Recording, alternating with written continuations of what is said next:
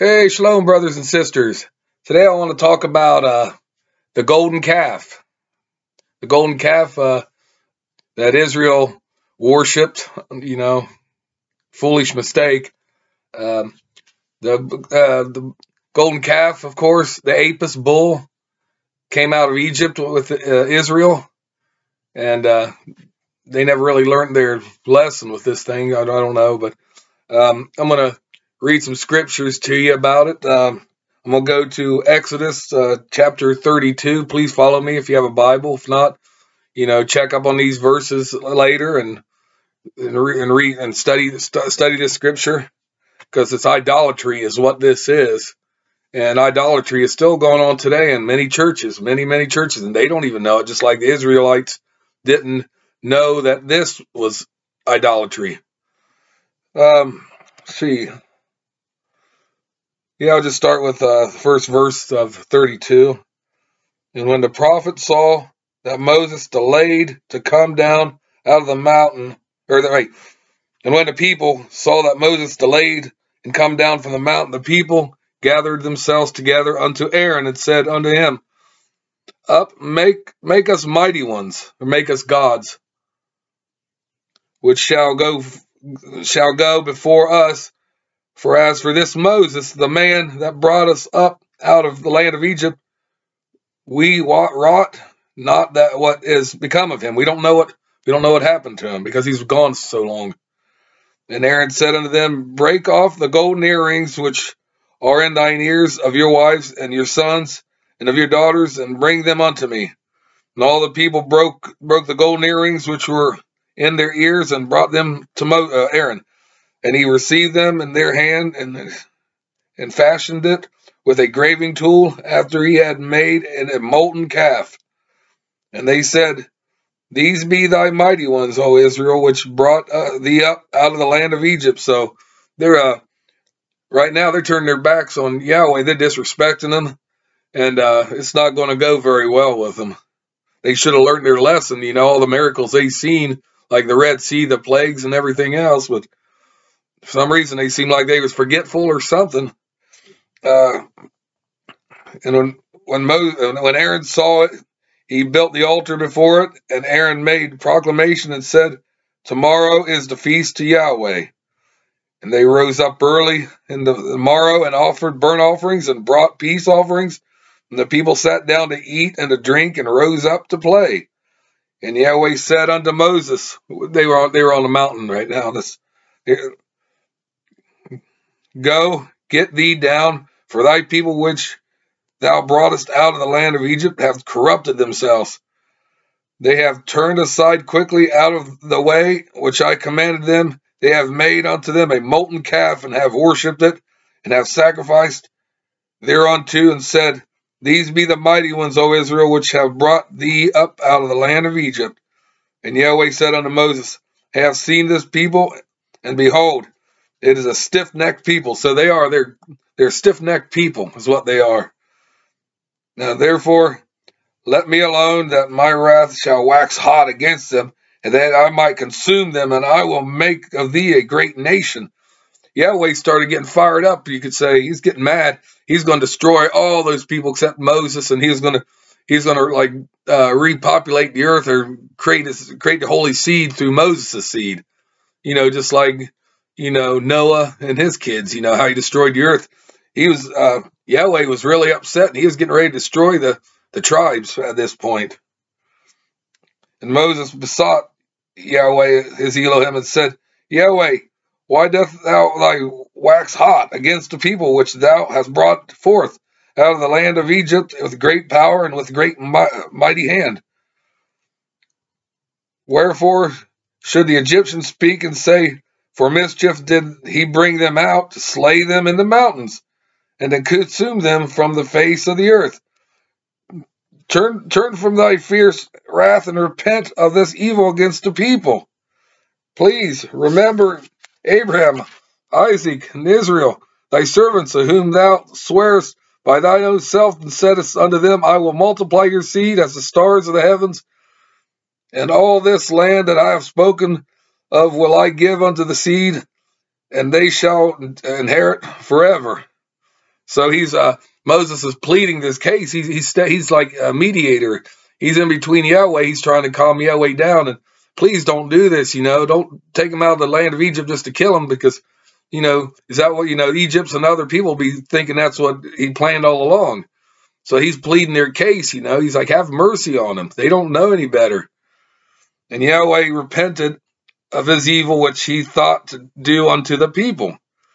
And Moses turned and went down from the mountain, and the two tablets of the testimony, the Ten Commandments, were in his hand. The tables were written on both their sides, front and back, and on one side and the other side were they written. And the and the tables and the tables were the work of Elohim, and the writing was the writing of Elohim graven onto the tablets. And when Josh, Joshua heard the noise of the people as they uh, shouted, he said unto Moses, There is a noise of war in the camp. And he said, It's not the voice of them that shout for mastery, neither is the voice of them that cry for being overcome, but the noise of them that sing do I hear. And it came to pass as soon as he came near unto the camp that he saw the calf and the dancing, and Moses was was well, he was angry too. He became angry just like Yahweh was moments before. And he cast down the tables out of his hands and broke them beneath the mountain. Mount the mountain. He, he threw them down. He was so mad and disgusted what he saw. And he took the calf which he had, which they had made and burned it in the fire and ground it to powder and, and strawed it upon the water and made the children of Israel drink of it. And Moses said unto Aaron, what did this people do? What do these people unto thee that thou hast brought so great a sin upon them? And Aaron said, Let not the anger of my sovereign wax hot. Thou knowest the people that they are set on mischief. And you know that's that's pretty obvious through their history too, the Israelites' history. For they said unto me, Make us mighty ones which shall go before us. For as for this Moses, the man has brought us up out of the land of Egypt, were wrought not what has become of him. And I said unto them, Whosoever hath any gold, let him break it off. So they gave it to me, and I cast it into fire, and there came out this calf. And when Moses saw that the people were naked, for Aaron had made them naked uh, unto their shame among their enemies, so there's partying naked. That's what they was doing. They was getting really getting down, partying. They're all naked, dancing, doing whatever. Then Moses stood in the gate of the camp and said, Who is on Yahweh's side? Let him come unto me. And all the sons of Levi gathered themselves together unto him. And he said unto them, Thus saith Yahweh Elohim of Israel, Put every man to his sword, put every man his sword by his side and go in and out from the gate to gate throughout the camp and slay every man his brother and every man his companion and every man his neighbor. And the children of Levi did according to the word of Moses, and there fell on the fell of the people that day about three thousand men. So the Levites say uh, restored order, I guess, with the sword. So Moses had said, Consecrate yourselves today for Yahweh, even every man's upon his son, upon his brother, and he that bestow upon the upon you a blessing this day. And it came to pass on the morrow that Moses said unto the people, You have sinned a great sin, and now I will go up unto Yahweh peradventure, and I will make an atonement for your sin. Moses returned unto Yahweh and said, Oh, this people have sinned a great sin and have made them mighty ones of gold you know, God's. Yet now, if thou wilt forgive their sin, if not blot me, I pray thee out of thy book which thou hast written. That's a book of life. And, and Yahweh said unto Moses, Whosoever hath sinned against me, him will I blot out of my book. Therefore, now go lead the people unto the place which I have spoken unto thee, Behold, mine angel shall go forth before thee. Nevertheless, in the day when I visit, I will visit their sin upon them. And Yahweh plagued the people because they made the calf which Aaron made. So they didn't, you know, he might, they might have been forgiven in a way, but in a way, but you know, they didn't go without punishment. They got got a added got a plague on them. So that was uh, the calf that they the calf worship religion. They they came out of Egypt. They brought it out because that's what they knew back then, and they thought they weren't doing any wrong in doing that, but they did, and they got a powerful message, a warning about it. And uh, that was the last of the golden calf, because Israel, of course, started doing that again when uh, the United Kingdom broke up into you know the northern and the southern uh, kingdoms. Jeroboam he became the king of the northern Israelites, the ten tribes, and he reintroduced the calf worship from Egypt. And it's kind of ironic that Israel, when they came out of Egypt, they brought that out with them. They brought that religion with them. But Jeroboam, he was uh, he was uh, serving under Solomon, and he he uh, angered Solomon, and Solomon wanted to kill him. So he ran to Egypt, and down in Egypt, he must have uh, learned the the Apis bull golden calf worship down there again. And when he came back up, became king, he reintroduced it to the children of Israel. He didn't want them to go to Jerusalem, you know, to to the temple and do the the religion because he was afraid that after a while people would start wanting to reunite with Judah again, and then they would uh, take him and they would execute him, and Rehoboam would be the king once more of the United Kingdom. That's what he's afraid of. And uh, I think it's First Kings, First Kings, uh, chapter 12, 25. I'm going to read 25 to uh, 33 about his idolatry. Then Jeroboam built built Shechem, uh, Shechem unto Mount Ephraim and dwelt thereon and went out from hence to build Peniel. And Jeroboam said unto the heart, Now shall the kingdom of now the Shin kingdom return to the house of David. If this people go up to do sacrifice in the house of Yahweh at Jerusalem, then shall the heart of the people turn again unto their sovereign, even unto Rehoboam, king of Judah, and they shall kill me and go again to Rehoboam, king of Judah. Whereupon the king took counsel and made two calves of gold. Here we go, the calves of gold again.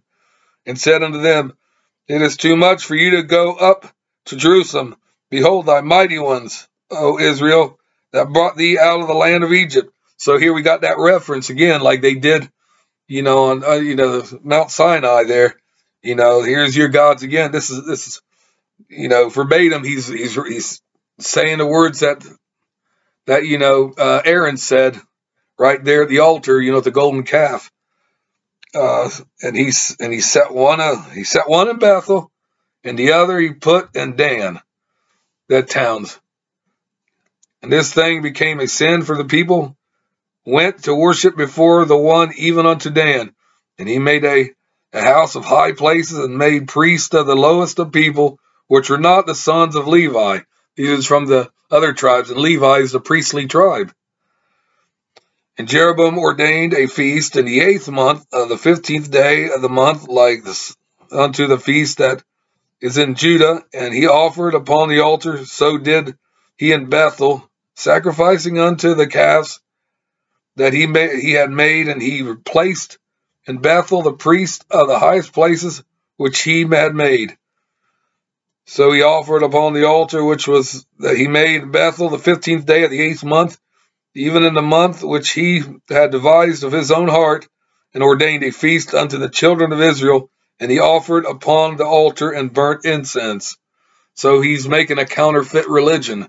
He's not it's not a true religion of Yahweh, it's a counterfeit religion.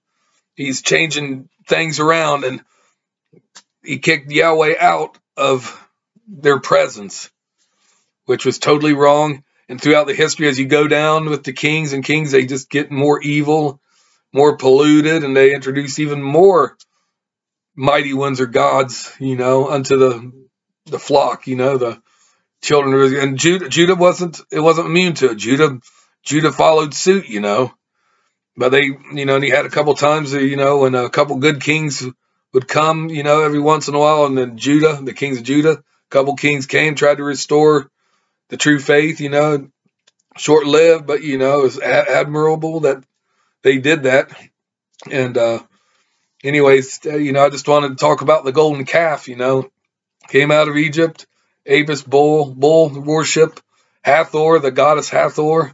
You can look that up, do research on that, but please, you know, study this up. You know, look it up, and um, I thank you again for tuning in. Until we meet again, and please like my videos, uh, subscribe, and hit notification bells. You know, comment below. I like I, I like to hear from you. And um, with that said, share the videos with anybody and everybody you can. Pass the good news along. And with that said and done, thank you. Shalom and peace out.